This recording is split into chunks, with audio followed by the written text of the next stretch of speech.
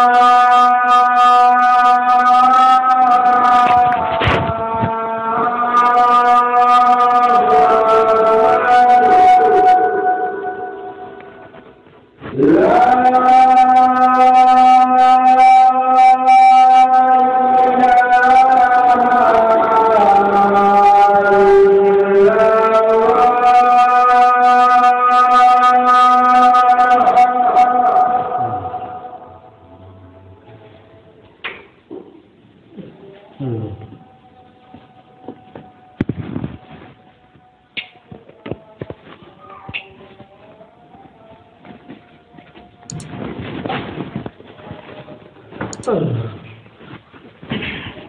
الحمد لله نحمده ونستعينه ونستغفره ونؤمن به ونتوكل عليه. ونعوذ بالله من شرور أنفسنا ومن سيئات أعمالنا. من يهده الله فلا مضل له ومن يضلله فلا هادي له. وأشهد أن لا إله إلا الله وحده لا شريك له. وأشهد أن محمدا عبده ورسوله. يا أيها الذين آمنوا اتقوا الله حق تقاته ولا تموتن إلا وأنتم مسلمون. يا أيها الناس اتقوا ربكم الذي خلقكم من نفس واحدة وخلق منها زوجها بث منهما رجالا كثيرا ونساء. واتقوا الله الذي تساءلون به والأرحام. إن الله كان عليكم رقيبا. يا أيها الذين آمنوا اتقوا الله وقولوا قولا سديدا. يصلح لكم أعمالكم ويغفر لكم ذنوبكم ومن يطع الله ورسوله فقد فاز فوزا عظيما. أما بعد فإن خير الحديث كتاب الله وخير الهدي هدي محمد صلى الله عليه وسلم وشر الأمور محدثاتها وكل محدثة بدعة وكل بدعة ضلالة وكل ضلالة في النار. قال الله تعالى في كلامه المجيد أعوذ بالله من الشيطان الرجيم منيبين إلى منيبين إلى الصلاة ولا تكونوا على المشركين منيبين عليه واتقوه وأقيموا الصلاة ولا تكونوا من المشركين إلى آخر الآيات সমস্ত প্রশংসা সেই মহান রাবুল আলমিনের জন্য যিনি আমাদেরকে সৃষ্টি করেছেন তার অনুগত বান্দা হিসাবে এবং তার ইবাদত করার সমতি প্রদান করেছেন। তার প্রশংসা আমরা বলি, আলহামদুলিল্লাহ। অতপর আজকের যে দিন, ধর্ম আমরা পেয়েছি। আর আল্লাহ সুবাহ যেটা ঘোষণা করে দিয়েছেন যে এই দিন ইসলামই হচ্ছে আল্লাহ সুবাহ নিকট পৃথিবীর সমস্ত রকমের মতবাদ, সমস্ত ধর্মের কাছে সমস্ত মতবাদের চাইতে উচ্ছে মনোনীত একমাত্র দিন ইসলামী হচ্ছে আল্লাহ তালার গ্রহণযোগ্য। সেই দিন যার মাধ্যমে আমরা পেয়েছি, অগণিত নবী রসুল এসেছেন। বিশেষ করে আহমদ মুস্তফা, মোহাম্মদ মুস্তফা সাল্লাহ সাল্লাম তার পরিবারের উপর অবতীর্ণ হব অসংখ্য দরুদ সালাম। আল্লাহমা সাল্লি আলাই আল্লাহমা বারিক আলাই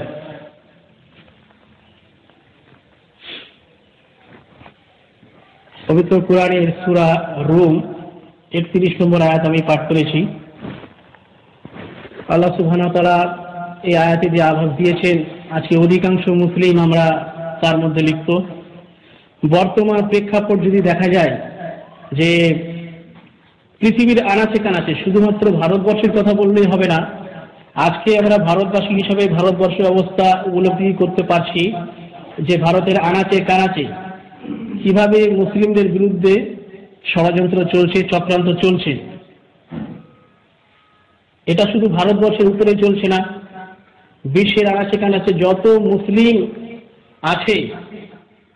বিশেষ করে যেগুলো ইসলামী রাষ্ট্র নয়, মুসলিম রাষ্ট্র নয়, তাদের উপরে এই চক্রান্ত চলছে যে কি করে এদেরকে দাবিয়ে রাখা যায়, কি করে এদেরকে দমন করা যায়। কারণ একটাই, সেটা হচ্ছে শয়তানের রাস্তা প্রকট হতে পারছে না।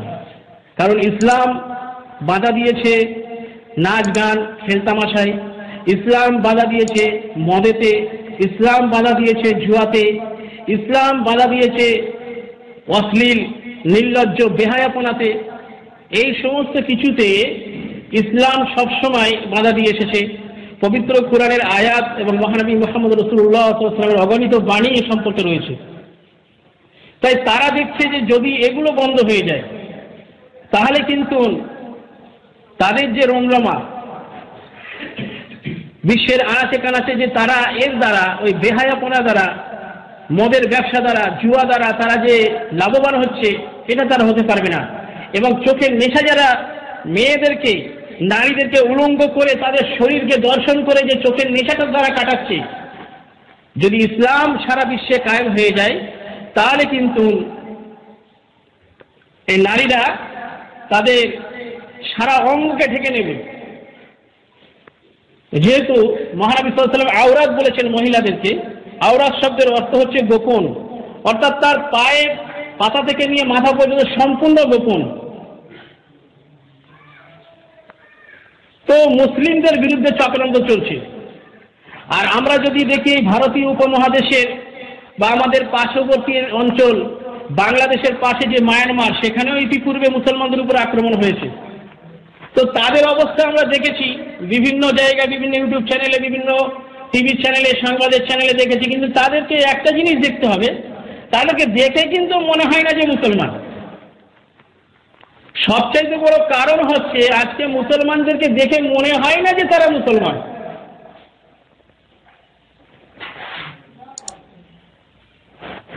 আল্লাহ সুবাহ বলছেন মুনি বিনা ইলাহি হত্যা কুহু তোমরা একগ্র চিত্তে তোমার রবের দিকে ফিরে এসো। তাকে ভয় করো। ওয়াকিমু সলাতা আর নামাজ প্রতিষ্ঠা করো। ওরা তাকুনু মিনাল মুশরিকিন, আর খবরদার তোমরা মুশরিকদের অন্তর্ভুক্ত হইও না। আল্লাহ সুবহানাহু তার দিকে একগ্র চিত্তে ফিরে আসতে বলছেন। বিশুদ্ধ চিত্তে তার দিকে ফিরে আসতে বলছেন। আর তাকেই ভয় করতে বলছেন। অথচ বিশ্বের অধিকাংশ মুসলমানের এই অবস্থা যে তারা আজকে মুসলমানই নেই। আজকে মুসলমানই নেই।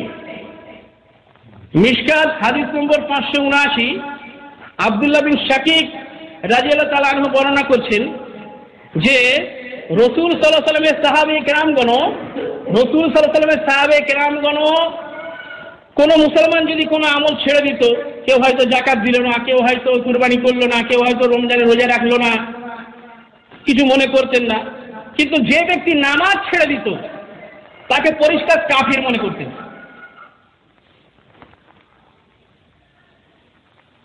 আব্দুল আবী শাকির রাজিল্লাহ বলছেন যে, রসুল সাল্লামের সাহাবে কেরামগণ, কোন আমলকে ছেড়ে দেওয়াতে কিছু মনে করতেন না, কিন্তু যে ব্যক্তি নামাজ ছেড়ে দিত, সেই ব্যক্তিকে তারা কাফের মনে করতেন। আর মহানবী সাল্লামের হাদিস পরিষ্কার রয়েছে, সেই মুসলিমে, যে আল্লাহর বান্দা এবং কাফিরের মধ্যে পার্থক্য হচ্ছে এই নামাজ। এই নামাজটা তো প্রত্যেকের কর্তব্য। আল্লাহ সুবাহ যে সৃষ্টি করেছেন। ওমা খলাকুল জিন্না ওয়াল ইনসা ইল্লা লিয়াবুদুন। আল্লাহ সুবহানাহু তাআলা বলছেন, আমি জিনকে এবং মানুষকে সৃষ্টি করেছি আমার ইবাদতের জন্য। তো ইবাদতটা তো অনেক প্রকার আছে, কিন্তু তার মধ্যে ইমান আনার পরে ইমান আনার পরে একজন মুসলমানের যেটা কর্তব্য যে সেটা নামাজ। কত সুন্দর লাগছিল বেশ কিছুদিন আগে।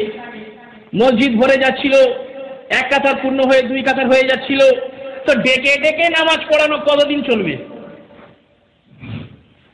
একটা ঘর থেকে কিছু মানুষকে আমি ডেকে নিয়ে এলাম, আর একটা ঘর থেকে কিছু মানুষকে ডেকে নিয়ে এলাম। তারা যদি নামাজটা পড়ে, আমার ক টাকা ইনকাম হবে?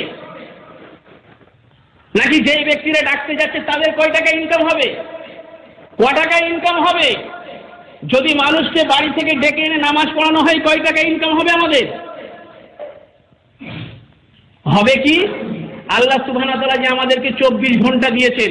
এই চব্বিশ ঘণ্টার মধ্যে যদি আমরা পনেরো থেকে কুড়ি মিনিট ধরে আমি আসা যাওয়া আছে, সময় আছে নামাজের মধ্যে, আমি যদি কুড়ি মিনিট করেও ধরি, তাহলে দেড় ঘণ্টা।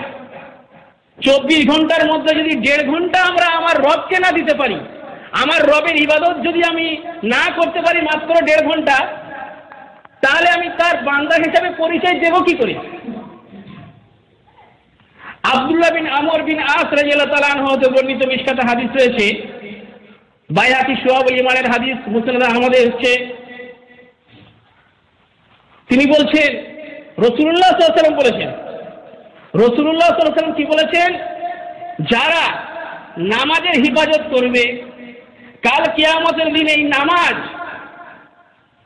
তাদের জন্য জ্যোতি হবে, আলো হবে, তাদের জন্য দলিল হবে, প্রমাণ হবে যে পৃথিবীতে তারা মুসলমান ছিল, এটার প্রমাণ স্বরূপ। আর তাদের মুক্তির কারণ হবে জাহান নাম থেকে তারা মুক্তি পাবে। আর যারা এই নামাজের হেফাজত করবে না, তাদের জন্য কেয়ামতের দিন এই জুম্মা জুম্মা নামাজ আর দুই ঈদের নামাজ, কেউ মারা গেল ওই জানাজার নামাজ কোনো কাজে আসবে না। না তাদের জ্যোতি হবে, না তাদের মুসলমানিত্বের কোনো প্রমাণ হবে ওই। মুসলমানি করে না, খাতনা করে না, আর আরবিতে নাম রাখে না, গরুর গোস খায় না। এগুলো তাদের জন্য কিন্তু দলিল হিসেবে প্রতিষ্ঠিত হবে না সেই কিয়ামতের দিন। তাদের মুক্তির কারণও হবে না, আর তাদের হাসর কাদের সঙ্গে হবে? তাদের হাসর হাসর হবে কারুন, ফেরাউন হামার উবাই বিন খালাবদের সঙ্গে। কারণ কোথায় যাবে? জাহান নামে যাবে। তাহলে বেনামাজি কোথায় যাবে সে? কারণের সঙ্গে থাকবে মানে সে জাহান নামে যাবে। ফেরাউন, সে জাহান্নামি হবে। তাহলে বেনামাজি যে হবে, সে যদি ফেরাউনের সঙ্গে হয়, সেও জাহান্নামে যাবে। হামান, ফেরাউনের যে মন্ত্রী ছিল, সে কোথায় যাবে? সেও জাহান্নামে যাবে। তাহলে তার সঙ্গে যার যার হাসর হবে, তার অবস্থাও কি হবে? সেও জাহান্নামি হবে। উবাই বিন খালাব, সে কোথায় যাবে? সে জাহান্নামে যাবে। তার সঙ্গে যার হাসর হবে, তার পরিণামও হবে জাহান্নাম। এ তো কোনো সন্দেহ নেই। আল্লাহ রসুল সাসনের মুখের বাণী।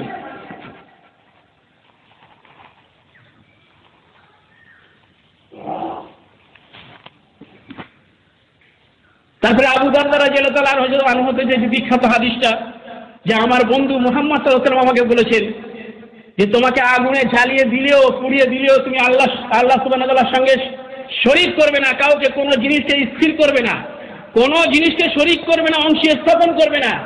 আর খবরদার খবরদার, জেনে শুনে এক অক্ত নামাজও তুমি ছেড়ে দেবে না, পরিত্যাগ করবে না। যে ব্যক্তি এক অক্ত নামাজ ত্যাগ করে দেবে, পরিত্যাগ করে দেবে আল্লাহর পক্ষ থেকে তার উপরে যে জিম্মেদারি ছিল, আল্লাহ যে দেখছেন আমার বান্দা যে কালামা পড়েছে, নামাজ পড়ছে, এর হেফাজত আমাকে করতে হবে। আল্লাহর পক্ষ থেকে সেই জিম্মেদারি উঠে যাবে তার উপর থেকে। তাহলে আজকে যে আমি বলছিলাম সর্বপ্রথমে যে আজকের বিশ্বের আনাচে কানাচে মুসলমানরা মার খাচ্ছে, কেন খাচ্ছে? এরা আজকে নামাজ ছেড়ে দিয়েছে, মসজিদ থেকে বিমুখতা অবলম্বন করেছে।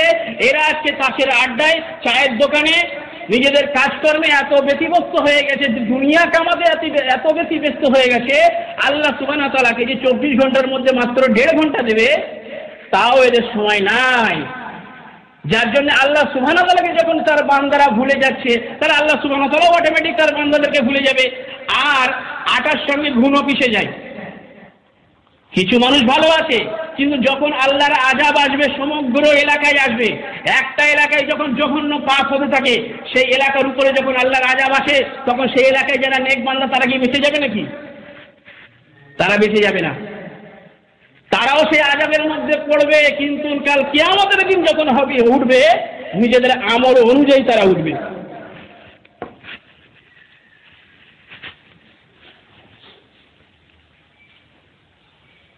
তাহলে এখনও যদি মুসলমানদেরকে, মুসলমান তো বলা যাবে না কারণ আল্লাহ রসুল বলে দিয়েছেন কাফির। আমাদের ভাষায় বলতে হয় কারণ নাম আরবিতে রাখা হয়েছে, তার বাপের নাম আরবিতে, মায়ের নাম আরবিতে। গরুর গোস খায়। এই হিসাবে তারা মুসলমান। এখনও যদি এদেরকে ডাকতে হয়, মসজিদে ধরে ধরে আনতে হয় আর দু একদিন অবহেলা হলে পরে, ডাকার অবহেলা হলে পরে যদি তারা মসজিদ থেকে ছিটকে যায়, যে যার কাজে যার সাংসারিক কাজে জীবনাবর্জনকে কাজে ব্যস্ত হয়ে পড়ে, তাহলে এর চাইতে আক্ষেপের বিষয় আর কিছু নাই।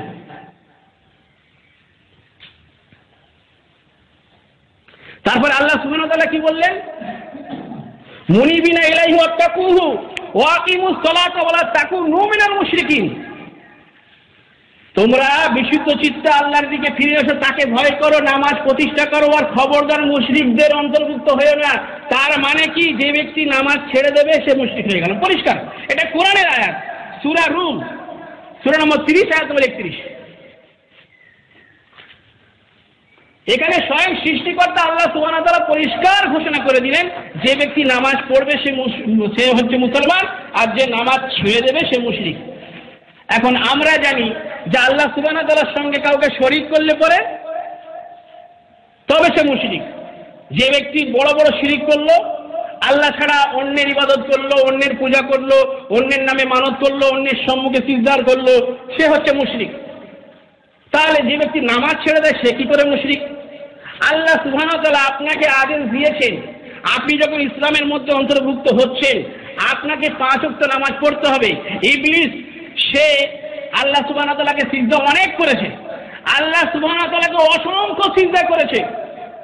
কিন্তু আল্লাহ সুবহানাহু তাআলার আদেশে আমাদের আদি পিতা আদম আলাইসাল্লামকে সিজদা করেনি বলে একটা সিজদা না করার দরুন, একমাত্র একটা সিজদা একটা সিজদা না করার দরুন সে অভিশপ্ত হলো। একটা সিজদা। ইংলিশের উপরে আদেশ ছিল, হে ইংলিশ হে ফেরেস্তা মন্ডলী সে ফেরেস্তাদের অন্তর্ভুক্ত ছিল তখন। ফেরেস্তা মণ্ডলী সকলে তুমি তোমরা কি করো? আদমকে সিজদা করো। তো সবাই সিজদা করেছিল ইবলিস শুধু সিজদা করেনি। ওই একটা সিজদা না করার দরুন সে অভিশপ্ত হলো। তাহলে মুসলমানদেরকে আদেশ দেওয়া হচ্ছে, পাঁচ অক্ট ফরজ নামাজ, কমপক্ষে সতেরো টাকা পাঁচ অক্ট নামাজ পড়তেই হবে। সুন্নত নফল আমি পাশে ছেড়ে দিলাম। বিতির নামাজ পড়তে হবে। পাঁচ অক্ট ফরজ নামাজ কোনো ব্যক্তি যদি পাঁচ অক্ট সতেরো রাকাত নামাজ ফরজ নামাজ সে আদায় করে, কমপক্ষে এক রাকাত বিতির সে আদায় করে, তাহলে সে মুসলমান। আল্লাহ সুবাহ এটার আদেশ দিচ্ছেন যে পাঁচ অক্ট নামাজ সতেরো রাকাত কমপক্ষে পড়তে হবে, অর্থাৎ চৌত্রিশটা সিজদা করতে হবে দৈনিক। আর আপনি সিজদা না করে কীভাবে আপনি মুসলমান থাকতে পারেন? কীভাবে মুসলমান থাকতে পারেন? তারপরে আল্লাহ যখন আমাদের রব রব বলে যখন স্বীকার করা হচ্ছে, তখন তার আদেশকে মান্য করা হচ্ছে আমাদের জন্য ওয়াজিব, আমাদের জন্য ফরজ। যখন আমি তার আদেশকে মানছি না, আমি আমার কার কার আদেশ মানছি? তখন আমি আমার মনের আদেশ মানছি, আমার আত্মার আদেশকে মানছি। যার জন্যে আল্লাহর আদেশকে অমান্য করে নিজের আত্মার আদেশকে মানার দরুন হচ্ছে মুশরিক। আল্লাহর আদেশকে অমান্য করার জন্য হচ্ছে সে মুশরিক। আল্লাহ ওয়া যেহেতু আদেশ করছেন ও আকিমুস সালাত। তোমরা নামাজ কায়েম করো, নামাজ পড়ো বলেনি নামাজ পড়া হলে তো এক ব্যক্তি এক সপ্তাহ নামাজ একদিনে পড়ে দেবে। নামাজ কায়েম করো। কায়েম তাকে বলা হয় একদম বাই ওয়াক্তে ওয়াক্তে আদায় করতে হবে। হতে পারে কিছু ওজোর থাকতে পারে। ওজোর হয়তো থাকতে পারে মানুষের। যার জন্য আল্লাহ সুবাহ তালা ছাড় দিয়েছেন। আনাস রাজিয়াল্লাহু তাআলা থেকে বর্ণিত আল্লাহ রসুল সাল্লামের হাদিস রয়েছে যে আল্লাহ রসুল সাল্লাম নামাজ কম পড়েছেন। অর্থাৎ দূরে যখন গিয়েছেন, সফরে গিয়েছেন, তেইশ কিলোমিটার অতিক্রম করেছেন। আবু দাউদ হাদিস নম্বর বারোশো এক। তিনি তিন ফার্স্ট এক দূরত্বে গেলে পরে নামাজ অর্ধেক পড়তেন। তাহলে সেগুলো তো আমাদের জন্য ছাড় রয়েছে। কিছু ওজোর আপত্তি রয়েছে, কিন্তু নামাজ যে ছাড় আমাদের একদম না। অন্য অন্য ইবাদত আপনার রোজা কেউ করে দিতে পারে, বা আপনি রোজা রাখতে পারছেন না, অসুস্থ আপনি, তার জন্য দান করে দিলে পরে হয়ে যাবে। এমনকি হজ হজ যদি কোনো ব্যক্তির উপরে ফরজ হয়ে থাকে, সে ব্যক্তি যদি কোনো কারণে হজ করতে না পারে, তাহলে তার যারা ওয়ারিসান আসছে, তারা সেই হজ সম্পাদন করতে পারে। কিন্তু নামাজের কথা বলা হয়নি যে কেউ আদায় করতে পারবে। নামাজ, যে যার নামাজ, তাকেই আদায় করতে হবে। আর আজকে ডেকে ডেকে ডেকে ডেকে নামাজ পড়ানো হচ্ছে, যেন মনে হচ্ছে যে ওদেরকে ডেকে নামাজ পড়ালে আমাদের কত পকেটটা ভরবে, আমাদের কত পয়সা হবে, আমরা কত বড় লোক হব, আমরা কত লাভবান হব।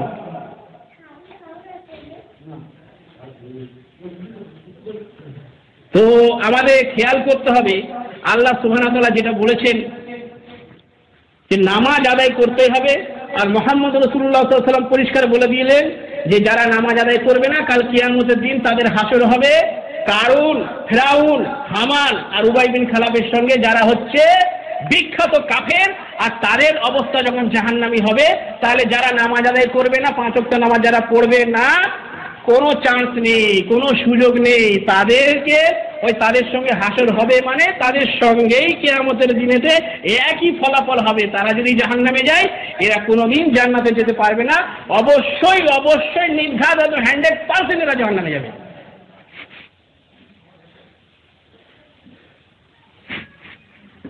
তারপর কোরআনেতে স্পষ্ট আয়াত রয়েছে, মা সালা কখন কি সাকার। জাহান নামের দারোগারা জিজ্ঞেস করল, তুমি এই সাকারে জাহান নামে কেন এলে? কলু, তারা বলবে, লাম নকু বিলাম মুসল্লি আমরা মুসল্লি ছিলাম না, আমরা নামাজি ছিলাম না। আজকালকে দেখা যায় যে যখন কোনো ব্যক্তি মারা যায় যা একদম জানাজার জন্য সবাই ছুটে পড়ে, একদম গোসল করে একদম পাক পবিত্র হয়ে ছুটলো। জানাজাটা কি? জানাজাটা হচ্ছে মাইয়াদের জন্য দোয়া। মাইয়াদের জন্য দোয়া কাদের কবুল হবে? যারা আল্লাহ রসুল সাল্লাম বলেছেন, কোন মাইয়াদের পেছনে যদি চল্লিশ জন এমন ব্যক্তি শরিক হয়ে যায় যারা আল্লাহর সঙ্গে শরিক করেনি, তাহলে ওই দোয়া মাইয়াদের জন্য নাজাদের কারণ হয়ে যাবে। আরে আপনি পাঁচ অক্ট নামাজ পড়ছেন না, আল্লাহ সুবাহর সঙ্গে শরিক করছেন, আপনি মুশরিক, আর আপনি গিয়ে ওই জানাজা পড়ছেন। আপনার দোয়া কবুল হবে? আপনার ওখানে যাওয়া আর না যাওয়া একই ব্যাপার। আজকের মুসলমান আমরা কত ভালো ভেবে নিয়েছি, কত সুন্দর ভেবে নিয়েছি। মার খেয়ে খেয়ে এরা শুধরায় না। মার খেয়ে খেয়ে এরা সংশোধন হয় না। এত মার খাচ্ছে তারপরে এদের টনক নড়ে না। তারপরেও সেই চায়ের দোকান, সেই জুয়ার আড্ডা, সেই মদের দোকান, সেই আড্ডাবাজি করে বাড়ির কাজে নিজেদের কাজকর্মে ব্যস্ত। আরে যে কাজকর্মটা, যে রুজি রোজগারটা তুমি করছ, সেই রুজি রোজগারটা যদি আল্লাহর ইবাদত করে করো, তাহলে সেই রুজি রোজগারে বরকত হবে, তোমার বিপদ, মুসিবত সব সরে যাবে। এই বিশ্বাসটা আমাদের নেই। এই বিশ্বাসটাই আমরা হারিয়েছি। যার কারণে যার কারণে আজকে আমাদের এই অবস্থা। এটা আমাদের খুবই দুর্বলতা। যার কারণে বললাম না, মায়ানমারের মুসলমানরা যে মার খাচ্ছিল ভিডিও, অগণিত ভিডিও দেখেছি। একটা দেখে মনে হয় না এরাই মুসলমান। চেহারা দেখে চেনাই যায় না এরা মুসলমান।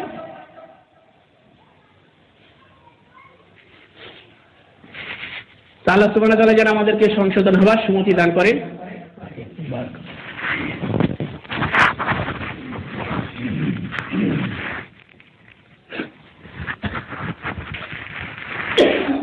আলহামদুলিল্লাহ মাল্লা ইবাদ ইগলাজু রসুলিল্লাহ। তো আজকে যেটা বিষয় নামাজের ব্যাপারে আলোচনা হচ্ছিল আর একটা বিষয় হচ্ছে, আল্লাহ রসুল সাল্লাম কিছু নির্দেশ এমন দিয়েছেন, ফজরের সময় সমস্ত সাহাবাহিকরাম ঘুম থেকে উঠত, ফজরের নামাজে কারা এলো না সেটা তালাশ নেওয়া হতো, তারপরে তিনি বলছেন যে, এশার নামাজ পড়ে বাড়িতে ফিরে যাও। এশার নামাজ পড়ে কোনো ধরনের জাগরণের অনুমতি নেই। এশার নামাজ পড়ে তুমি শুয়ে পড়ো। তো আমরা যদি এই নামাজের মাধ্যমে মসজিদ ভিত্তিক সমাজ গঠন করতে পারি, তাহলে আমাদের সমাজের কতটা উপকার হবে? আমরা বিভিন্ন জায়গায় পত্র পত্রিকায় পড়ে থাকি, বিভিন্ন সাংবাদিক দেখি। এই কিছুদিন আগে একটা বড় উকিলের দেখা গেল, তিন দিন পরে তার লাশ পাওয়া গেছে ঘর থেকে। তিন দিন পর তার লাশ ঘর থেকে পাওয়া গেছে কি করে? ঘরেতে পচা গন্ধ বার হচ্ছে, যে নিশ্চয়ই ভেতরে মারা গেছে। তো নামাজ ভিত্তিক সমাজ যদি গঠন হয়, মসজিদ ভিত্তিক সমাজ যদি গঠন হয়, আমরা জানি কোন ব্যক্তি একটা এলাকায়, একটা জমাতের ভেতরে কোন ব্যক্তি কি কাজ করে, কোথায় কাজে যায়, সেই ব্যক্তি এই অক্তে হাজির হবে, ওই অক্তে হাজির হতে পারবে না এমক অক্তে হাজির হয়নি কেন, সেগুলো আমরা খোঁজ নিতে পারব। আল্লাহ রসুল সাল্লাম বলছেন যে তোমরা তোমাদের অসুস্থ ভাইদের খোঁজ খবর নাও। যদি আমরা মসজিদ ভিত্তিক সমাজ নামাজ ভিত্তিক সমাজ যদি গঠন করতে পারি, তাহলে আমরা খোঁজ খবর নিতে পারব। অমুক ব্যক্তি এই ওয়াক্তে এলো না কেন? নিশ্চয়ই সে কোনো, তার কোনো বিপদ হলো, নাকি সে অসুখে পড়ল, না কি কারণ? খোঁজ নিতে পারব আমরা। একে অপরের খোঁজটা, একে অপরের সম্পর্কে খবরটা আমরা দ্রুত পেয়ে যাব। ওই ব্যক্তি ফজরে এলো না কেন? ডেলি আসতো। ওই ব্যক্তি জোহরে এলো না কেন?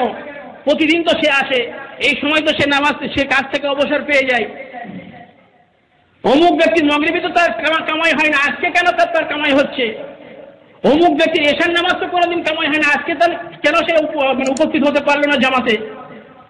জমাত ভিত্তিক মানুষ তখন একে অপরের খোঁজ খবরটা নিতে পারবে। একে অপরের পাশে দাঁড়ানোটা সহজ হয়ে যাবে তখন। একে অপরের সংবাদ নেওয়াটা আসান হবে। একে অপরের অসুবিধায় শরিক হওয়াটাও আসান হবে। এবং একে অপরের সংবাদ সবসময় সে তারা পেতে থাকবে। এর দ্বারা একে অপরের মধ্যে ভ্রাতৃত্ব কায়েম হবে, প্রতিষ্ঠিত হবে। কিন্তু আমরা প্রত্যেক ঘরে তো নামাজি নাই। এমন ঘর আছে যে নামাজ পড়েই না। তারপরে যদিও পুরুষরা পড়ে, মহিলারা পড়েই না, তারপরেও সেই মহিলারা মারা যাচ্ছে না, তার জানাজা পড়তে হবে। অমুক ব্যক্তি মারা গেছে, সে আত্মহত্যা করেছে, তারও জানাজা পড়তে হবে। অথচ আত্মহত্যাকারী হচ্ছে জঘন্য পাপী। আত্মহত্যাকারীর জানাজা আল্লাহ রসুল সাল্লাম করতেন না। আল্লাহ রসুল সাল্লাম কোনোদিন আত্মহত্যাকারী জানাজা পড়েননি। তাই ইমাম তিরমিজি ওখানে একটা বাদ বেঁধেছে যে আত্মহত্যাকারীর জানাজা ইমাম পড়বে না। সাধারণ মানুষ যদি চায় তাহলে পড়তে পারে, যদি চায় তাহলে পড়তে পারে। আত্মহত্যাকারীর জন্য জানাজা নাই। না, কি বলবে লোকে, কি বলবে? এরা শরীর হলো না। লোকে কি বলবে? আল্লাহ কি বলবে? আল্লাহ কি বিধান দিয়েছে? রসুল কি বিধান দিয়েছে? এর চাইতে বড় সমাজ কি বলবে? লোকে কি বলবে? অমুক কি বলবে? তমুক কি বলবে? এটাই আমাদেরকে, আমাদের কাছে সবচাইতে বেশি প্রাধান্যতা আমরা একে দিয়ে ফেলেছি। যদি আল্লাহকে প্রাধান্যতা দিতাম, তাহলে কোনো ব্যক্তি বেনামাজি থাকতো না। কারণ কোরআনের একাধিক আয়াত রয়েছে, আল্লাহ রসুল সসবের একাধিক হাদিস রয়েছে যারা নামাজ পড়ে না, তারা কাফির। কাফির বললে পরে বলবে হ্যাঁ আমাকে কাফির বললে? আরে আমি বলিনি, আল্লাহ রসুল বলছে কাফির। আরে আমি তো বলেছি কাফির। আল্লাহ তো বলছেন মুশরিক সুরা রুমের একত্রিশ নম্বর আয়াতি। মুশরিক মানে?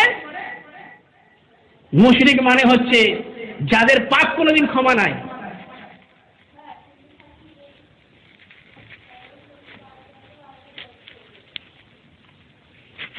তো নামাজ সম্পর্কে অনেক জায়গায় অনেক কিছু শুনেছি।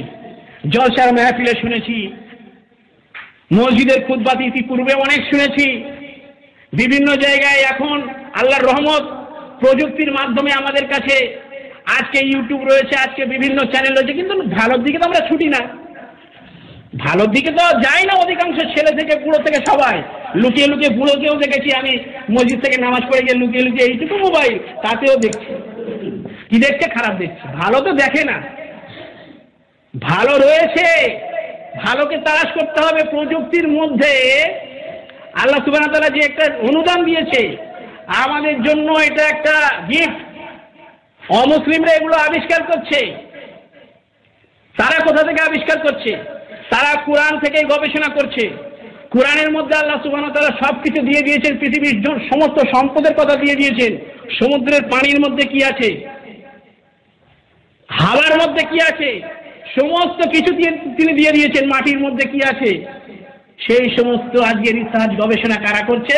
মুসলিমদের করা উচিত ছিল কিন্তু মুসলিমরা আজকে নিজেদের স্বার্থ নিয়ে এরা এত ব্যস্ত যে এরা কোরআন পড়ারই সময় পায় না। বাড়িতে বাড়িতে কোরআন কেন রাখা হয়? কোরআন বাড়িতে থাকলে আল্লাহর রহমত হবে। এখানটা একটা তাক তৈরি করল। তাকেতে কোরআনটাকে ব্যান্ডেজ করার মতো। একটা ব্যক্তির যখন একটা আঘাত লাগে, ওখানে যেমন ব্যান্ডেজ করা হয় ওই রকম কোরআনটাকে গেলাপের মধ্যে আটকিয়ে আর তাকের মধ্যে তুলে রেখে দিল। কোরআন বাড়িতে থাকলে আল্লাহর রহমত হবে। আরে বোকা, কোরআন যদি তিলাবাত না হয়, বাড়িতে সেই বাড়িতে আল্লাহর রহমত হতে পারে না। তুমি কোরআনের আয়াত এখানটায় সব টাঙিয়ে রাখলে। কোরআনের আয়াত তুমি দরজায় টাঙিয়ে রাখলে। তোমার বাড়িতে যে শয়তান ঢুকবে না, জিন খব্বির ঢুকবে না, এর নিশ্চয়তা পাও কি করে? আজকে নামাজ ছেড়ে দিল সব কিছু ছেড়ে দিল। কোরআন যদি পড়তো, আজকের মুসলমানরা যদি কোরআনকে পড়তো, মুসলমানরা যদি কোরআনকে বুঝতো মুসলমানরা যদি কোরআনে কি লেখা আছে, আল্লাহ কি বলছেন, আল্লাহ কি আদেশ করছেন, আল্লাহ কি নিষেধ করছেন, এগুলো যদি বুঝতো অন্তত একটা ওয়াক্তে হলেও, কিছু সময় করে হলেও প্রতিদিন আধ ঘণ্টা। তা হলো একটা ব্যক্তি, একটা বাড়ি তো দূরের কথা, একটা ব্যক্তিও বেনামাজি থাকতো না। কিন্তু আক্ষেপের বিষয়, এরা মার খাচ্ছে, মার খেতে থাকছে আর আল্লাহর আজাবেদের উপরে আসছে, এরা কোনো তাল নেই, কোনো দিকে যাচ্ছে না। ওসব মৌলানাদের কথা ওরা বকবে, ওদেরকে বকতে দাও। কাল কেয়ামতের দিন যখন জাহান নামে যাবে সুরা মুল্ক। সুরা মুল্কে দেখুন, আয়াত রয়েছে সেখানে। জাহান নামের ফেরেস্তা জিজ্ঞেস করবে আমি এতকুম নাজির তোমাদের কাছে কি আল্লাহর পক্ষ থেকে কোনো ভীতি প্রদর্শন করে যেখানে যায়নি? আজকে তোমরা যে জাহান নামে এলে, তোমরা যে জাহান নামে যে কারণে এসছো, বেনামাজি হওয়ার কারণে এসছো, ঘুষ খাওয়ার জন্য এসছো, সুদ খাওয়ার জন্য এসছো, মদ খাওয়ার জন্য এসছো আচ্ছা এই সমস্ত কিছু থেকে তোমাদেরকে বারণ করার জন্য কি তোমাদের কাছে কেউ যায়নি?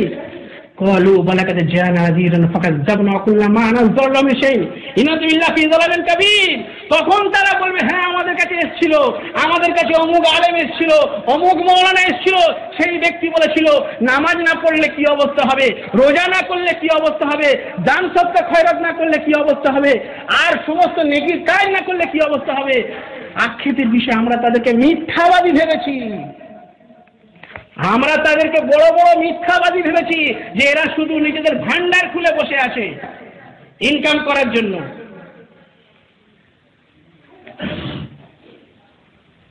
সমস্ত কিছুই ব্যক্ত করে দিয়েছেন। কোরআনে এমন কোনো জিনিস নাই পৃথিবীর বুকেতে যেগুলো বলে দেওয়া হয়নি। মানুষ যে কাল জাহান নামে যাবে, পাপের কারণে যাবে, আর তারা যে পাপটা কারণে জাহান্নামে যাচ্ছে, আল্লাহর ফেরেস্তা যে জাহান্নামের দরগা পর্যন্ত তাদেরকে জিজ্ঞেস করবে, আর সেই কথাও যখন কোরআনে লিখে দেওয়া হয়েছে, আর তারা কি জবাব দেবে, সে কথাও কোরআনে লিখে দেওয়া হয়েছে। তাহলে যদি কেউ কোরআন পড়তো, ওই লাইনটা যদি কেউ পড়তো হাই এখানে তো আল্লাহ সত্যিকারের বলেছে।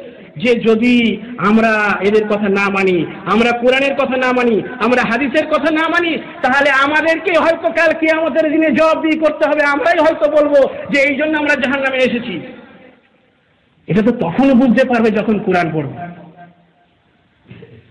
কিন্তু আক্ষেপের বিষয়, অধিকাংশ আমাদের বাড়িতে আরবিতে কোরআনই জানে না, বাংলা তো অনেক দূরের কথা। বাংলাতে যে অনুবাদ করে পড়বে, অনুবাদ করে পড়ার প্রয়োজন আছে। অনুবাদ আজকের চারিদিকে পৃথিবীর বিভিন্ন ভাষায়, এমন কোনো ভাষা আমার জানা নেই যে বাকি আছে কোরআনের অনুবাদ হতে। আরবিতে তো পড়ার কেউ জানে না, ওই মেয়েদের বিবাহ হবার বয়স হয়ে যাচ্ছে, তারা কোরআন শিখছে? আর কোরআনটা যে শিখছে, কোরআনটা যে ওই আরবিতে আওড়াচ্ছে, নিজেই আয়াত পড়ছে যে আয়াতটা আমি বললাম, কোরআনের, সুরা রুমের, আয়াত তোমার একত্রিশ, সে আয়াতটা নিজেই পড়ছে, পড়ে নিজেই কিছু বোঝে না, পড়ছে এইভাবে ভেবে পড়ল। পড়ে নিয়ে হ্যাঁ কোরআনটা রেখে দিল। নামাজ সেও পড়ে না, যে কোরআন পড়ল সেও নামাজ পড়ে না। অথচ আল্লাহ ওখানে বলে দিয়েছে, তুমি যদি নামাজ না পড়ো, তুমি মুশিক সে বুঝলোই না কিছু।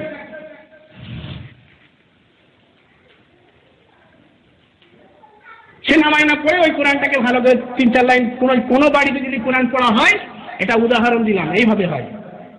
কোনো বাড়িতে যদি কোরআন পড়া হয়, এভাবেই হয়। না বুঝে পড়া হয় আর পড়ে রেখে দেওয়া হয়। একটা ডাক্তার আপনাকে প্রেসক্রিপশন লিখলো, আর সেই প্রেসক্রিপশনটা আপনি শুধু পড়ে রেখে দিবেন, তাকে তুলে। আপনার রোগ কি ঠিক হবে? আপনার ডাক্তারের প্রেসক্রিপশনটা কি লিখেছে, কোন ওষুধ লিখেছে? আপনাকে ছুটতে হবে ওষুধের দোকানে। কোন নিয়ম আপনাকে লিখেছে? আপনার রোগ অনুসারে কোনটা খেতে বারণ করেছে, কোনটা খেতে বলেছে? সেগুলো যদি অনুসরণ না করেন, আপনার রোগ থেকে যেমন মুক্তি পেতে পারেন না, আল্লাহ সুবাহতালা যে বিধান দিয়েছেন, সেই কোরআনকে যতদিন পর্যন্ত আমরা আঁকড়ে না ধরবো, কোরআনকে যদি দূরে সরিয়ে রাখি, তাহলে আমাদের অবস্থা ওই অবহেলার কারণে কাটছে। শয়তান আমাদের উপরে বসছে, মাথা থেকে নিয়ে পুরো শরীরে অবশ করে দিচ্ছে, আমাদের পার আগে বাড়ছে না মসজিদের দিকে, আমাদের পার আগে বাড়ছে না দিনের কাজের দিকে, আমরা একে অপরের খোঁজ নিতেও যাচ্ছি না। তারপরে আমরা কি খোঁজ নিই? অমুক অমুক জায়গায় ফাংশন হচ্ছে, আমরা দেখেছি। এই এলাকায় তো কিছুদিন আগে একটা ফাংশন হলো কোথায়? ওই অভিষেক আসছে, আর কত নর্তকী আসছে। ওরে বাবার কাউকে খবর দিতে হলো না। শুধু অটো করে হেঁকে গেল আর একে অপরকে ডাকা হলো না। সবাই ছুটে ছুটে ছুটে ছুটে চলে গেল, সেখানে জমা হয়ে গেল। এই নর্তকীদের আহ্বানে সবাই সাড়া দেবে, কিন্তু আল্লাহ সুবাহ আহ্বানে সাড়া দিতে পারছে না। তো এই অবস্থা যদি আমাদের থাকে আল্লাহর আজাব আসছে আমাদের উপরে। অগণিত সম্প্রদায় নষ্ট হয়ে গিয়েছে, আমাদেরও নষ্ট হতে হবে। আমাদের উপরে আমরা যদি বসে থাকি, মনে করি, ও, যেখানেই হচ্ছে, যা হচ্ছে হচ্ছে হচ্ছে। হোক। কিন্তু আপনি ভুল ভাবছেন। আপনাদের এই নামাজ পরিত্যাগ করার কারণে দীর্ঘদিন যদি এরকম হয়, তাহলে আল্লাহর আজাব একটা এসে পড়ে। সেই আজাব এসে পড়লে পরে আর কিন্তু বাঁচা যাবে না। তারপরে এই আজাব শুধু এই পৃথিবীতে বাঁচার জন্য নয়, কাল কেয়ামতের দিনে এটা আমাদের জন্য যদি আমরা পাঁচ অক্ট নামাজ আদায় করি, তাহলেই আমরা প্রমাণ দিতে পারব যে আমরা হচ্ছি মুসলিম। তাহলে আমরা আমাদের জন্য উজ্জ্বল হবে। অর্থাৎ পুলসিরাতে যখন পোলকে সবাই পার হতে হবে, সবাইকে পার হতেই হবে পুলসিরাতের পোল।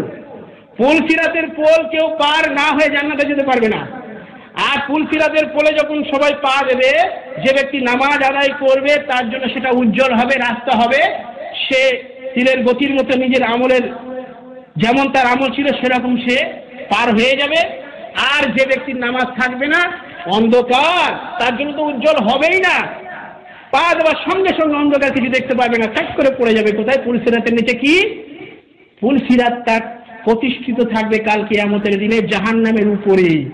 যেমন ব্রিজ আমরা দেখি, তো সে ব্রিজ এ ব্রিজ নয়, সে ব্রিজ হচ্ছে চুলের চাইতে সরু, তরবারির থেকেও ধার তো সেই ব্রিজ পার না হওয়া পর্যন্ত কোনো ব্যক্তি জান্নাতে যেতে পারবে না। যে ব্যক্তি নামাজ আদায় করবে, কাল কেয়ামতের দিনে এই নামাজ তার জন্য উজ্জ্বলতা প্রদর্শন করবে, আলো প্রদান প্রদান করবে পুলসিরাতের পোলেতে দলিল হবে যে আমি মুসলমান ছিলাম আর কেয়ামতের দিনে সে জাহান্নাম থেকে নাজাদ পাবে। আর যে ব্যক্তি নামাজ প্রতিষ্ঠা করবে না, সেই ব্যক্তির জন্য সে আলোক প্রদান করবে না। অতএব সে ব্যক্তি ধপাস করে পড়ে যাবে কোথায়? জাহান্নামের গর্তে। তা সে প্রমাণ করতেই পারবে না, তার জন্য দলিল হবে না যে সে মুসলমান ছিল। আর তার জন্য নাজাদের কারণও হবে না। অর্থাৎ সে ব্যক্তি জাহান নামে যাবে আর তার হাসর হবে। সে কিয়ামতের দিন যখন উঠবে, ওই ফেরাউন যেমন উঠবে হামান যেমন উঠবে, কারুন যেমন উঠবে, উবাই বিন খালাব যেমন উঠবে, তেমনই উঠবে। অতএব সময় থাকতে সাবধান হন। জীবন এই যাচ্ছি, ওই যাবগণ। এত বয়স হয়নি, কিছুটা বয়স হোক, কিছু অবসর সময় পাই, তারপরে নামাজ পড়ব। অনেককে দেখা আছে, কালকে হয়তো বসে গল্প করছিল, আজকে নাইতে দিয়েছে কার কত বয়স কেউ জানে না?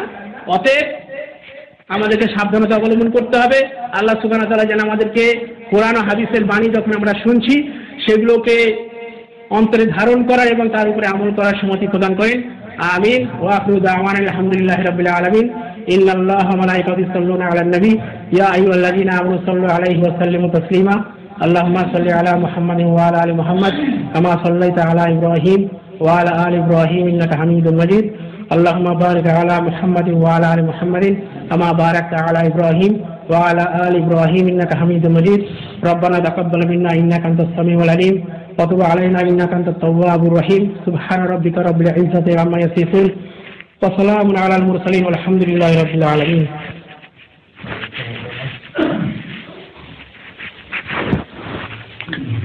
ঠিক আছে আসলে রাজাটা হবে তিনটে পঁয়ত্রিশে আর জামাত হবে তিনটে পঞ্চান্ন কাল থেকে ফজর আড়াই হবে পৌনে পাঁচটায় পাঁচটা পনেরো যাওয়া